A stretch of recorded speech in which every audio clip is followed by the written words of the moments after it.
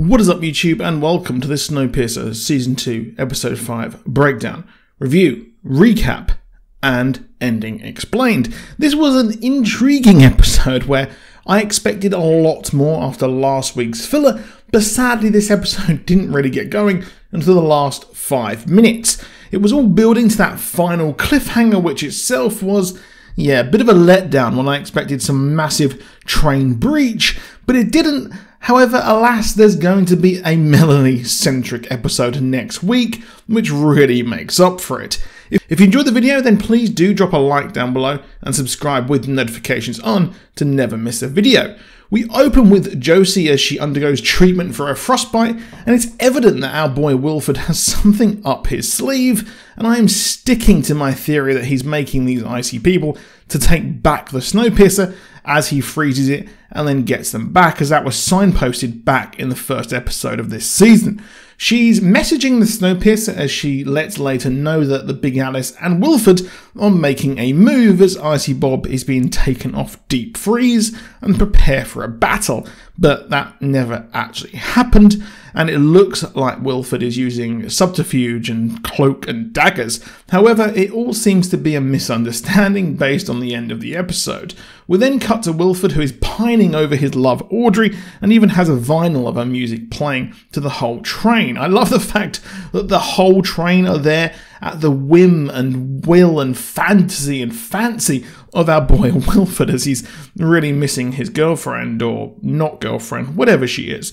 I may have missed it when it was revealed how she was a famous singer before the big freeze, and he's got the entire train reading a single book called Rebecca by Daphne du Maurier. Funnily enough, the movie adaptation came out on Netflix last year, starring the controversial possible cannibal Armie Hammer. Yeah. Anyway, I still really like The Lone Ranger and focuses around a woman falling in love with a wealthy widower. The narrator is a woman who falls in love with a man called Maxim whose wife died tragically, whom, well, it was sort of self defense as she was threatening his livelihood and the narrator stands by him despite his wife's housekeeper constantly working against her and eventually them. I have a full breakdown of that movie if you wanted to check it out on my channel, and the movie is out on Netflix as well. I feel there is some parallels with some form of backstory of Wilford and Audrey here, as the book club discusses it and is divided about the narrator being romantic or not, with Alex's mate being in the love camp, but hey, she's got someone in the works over there on Snowpiercer, and it is the second to last Aussie alive. Now, Wilford then gets an invitation to send out to Audrey, clearly part of his plan to gaslight her further, as we saw the alarm at the end of the episode, and if he is indeed behind these murders, it is still a bit incredibly ambiguous, bit of a real oxymoron there, but I will get into that later in the video. And we see Josie on the train receiving her treatment, which is curious, and I wonder if they are attempting to turn her into an icy bob too. But she has a panic attack only for a surprise person to come to her aid in the form of Icy Bob, who tells her to calm down and teaches her how to manage the pain she's feeling. Of course, he is really versed in that pain. I thought it was corny when he was introduced, but he is indeed a cool character here, no pun intended, making him a sympathetic character, forced to be this way but his mind is of sound mind, for lack of a better term again, and Josie needs all the help she can get. Layton discusses the impending attack and wants to know which cars are vulnerable to attacks from the outside. But, well, Bessie is now unsure about the approach to keep the border open, and she's unsure soon of Layton and she's told to take a day off, but heck, she 100% needs it, you know. However, Ruth is furious at being kept out of the loop, but to be honest, if I was Layton personally, I wouldn't trust her as she is a Wilford hire, thus loyal, but as a viewer, I do believe her to be lawful neutral, if anything, and she was urged to come over the train at the end, but she did stay where she was because she is loyal to the train.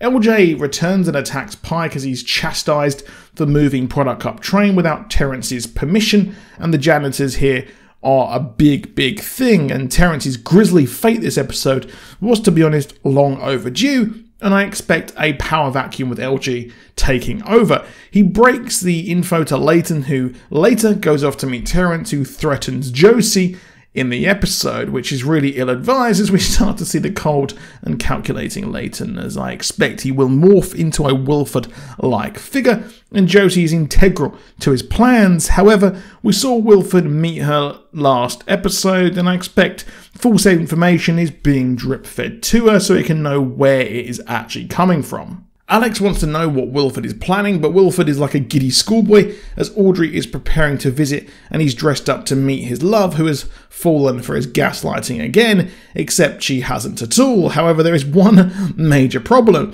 Ben notices there has been no response or contact from Melanie, which is a huge problem, although let's remember what she said the data is the success, not her survival, as we later learn they are close to turning around and launching the final balloon but they can model the climate without us. That is something to remember for next episode.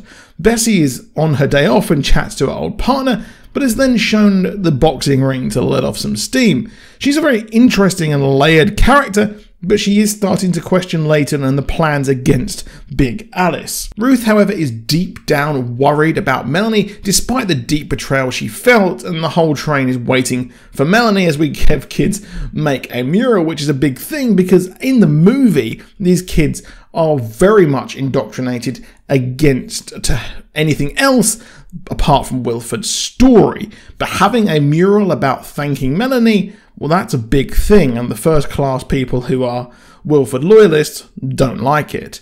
Wilford and Audrey sit down, and while he goes off to pour some more drinks, she attempts to break into his safe. It seems, and at the end, she stays on Big Alice, but well, Wilford did notice that she was doing something. It's evident she is not interested in him, but wanting to make sure he never hurts anyone again, in my opinion. We then see Pike and Layton discuss what to do with Terrence, and Layton is hinting that Terrence needs to die, but Pike is trying to redeem himself and become a better person and not killing out of combat. However, Layton has gone beyond himself, and well, without Melanie here to rein him in, it's evident that his feelings for Josie are causing this, and I can, well, imagine that they can make contact with Big Alice without that, as they have that Aussie chick there as well. Now, last season and at the start of this season, he was wanting to help Pike change, and I saw this whole working for Layton as part of that. However, he's going against his own morals, and this is something the priest hints at with